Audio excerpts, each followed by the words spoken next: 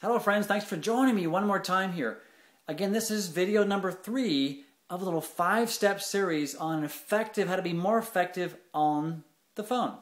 Personal, business, whatever it be. And again, just a little side note, I put these little five steps, taped them on the blank business card to the back of my phone until I had this down. And like I've used it for years.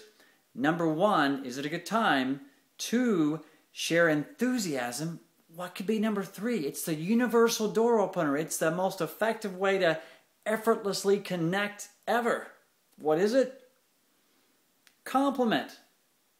My goodness, Robert, I've, I've appreciated and respected you for years. Oh my goodness, Sue, I love, I would love your opinion. My goodness, Bill, I, I was so impressed with your energy and you're so open. Everybody at the group, at the chamber event loves you. Again, whatever it is, you look so sharp today. Compliment, a genuine compliment and validation opens up the door. Time, enthusiasm, enthusiasm, energy, and then compliment, validate. And what could be number four? Let's find out.